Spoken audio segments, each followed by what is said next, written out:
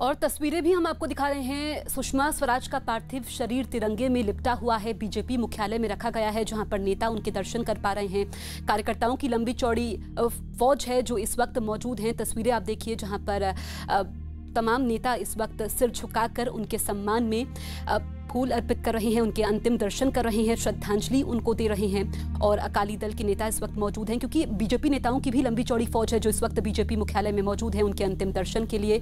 जयप्रदा को आप देख पा रहे हैं और इस बीच आपको बता दें कि जावेद मंसूरी ने जयप्रदा से बातचीत की है, सुनते हैं।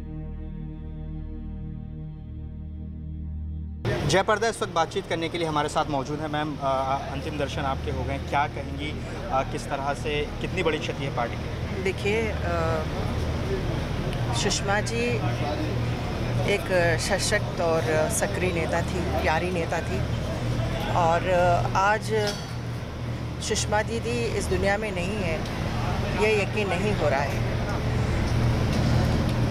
दिल्ली के मुख्यमंत्री से लेकर उन्होंने विदेश मंत्री तक जिस तरह उन्होंने काम किया है, देश के लिए सेवा किए हैं, वो लोग भूल नहीं सकते हैं। आज मैं अभी दो महीने पहले मैं इसी दफ्तर में उनको मिली थी और इतने प्यारे और स्नेह भाव से मुझे मिली थी।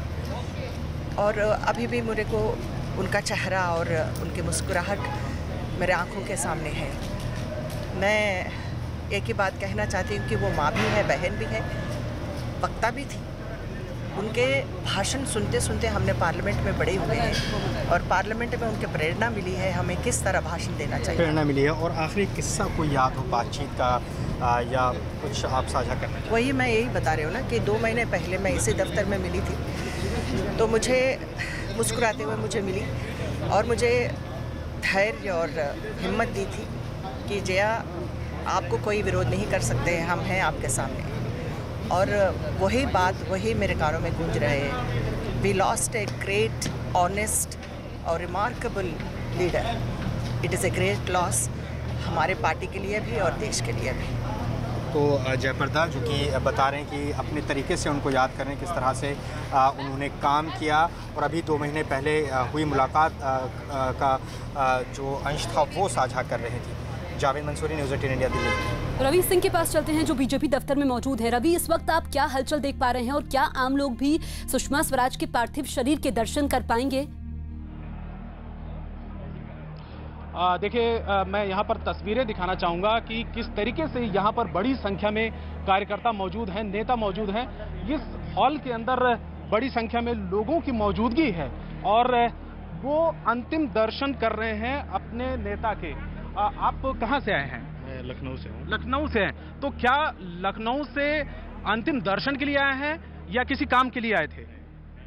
मालूम चला मैंने देखा कल सोशल मीडिया पे तो आज मैं सुबह सुबह ही पहुँचा हूँ। हाँ।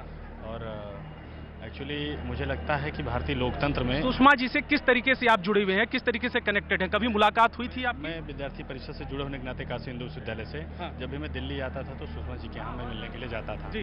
तो वो छात्र नेता होने के लिए लाडले छात्र नेता होने के नाते वो बहुत प्यार करती थी। ठीक है आपका नाम क्या है? मेरा नाम शिव यादव है। आप कहाँ से है? मैं जे से हूँ। मैं रिसर्च स्कॉलर हूँ। हाँ, हाँ।, हाँ। क्या कहना चाहेंगे? सुषमा जी के निधन क्या कहना चाहेंगे? जी जी जी हो गया। जी। मैं अपना शोक प्रकट करना चाहता हूँ। देश ने एक बहुत ही अभूतपूर्व नेता खोया है और एक ऐसी महिला को खोया है जिसके जो देश की विभिन्न महिलाओं को उनके स्तर से जोड़ती तो ठीक है ठीक है। ये जेएनयू से है ये दूर दराज के लोग जो हैं कार्यकर्ता यहाँ पर इकट्ठा हुए हैं और बड़ी संख्या में तादाद ये संख्या जो है वो लगातार बढ़ती जा रही है कार्यकर्ताओं की। आ, कई नेता जो हैं अंदर हैं हॉल के अंदर हैं, वो अंतिम दर्शन कर रहे हैं, लेकिन जो कार्यकर्ता हैं, जब वहाँ से भीड़ कुछ कम होगी हॉल के अंदर से, इसके बाद कार्यकर्ता अंदर जाएँगे तो यहाँ पर लोग अपने व्यक्तिगत जो अनुभव हैं, सुषमा जी के साथ में जिस तरीके से उनका जुड़ाव है, जो भी उनका व्यक्तिगत संबंध रहा है,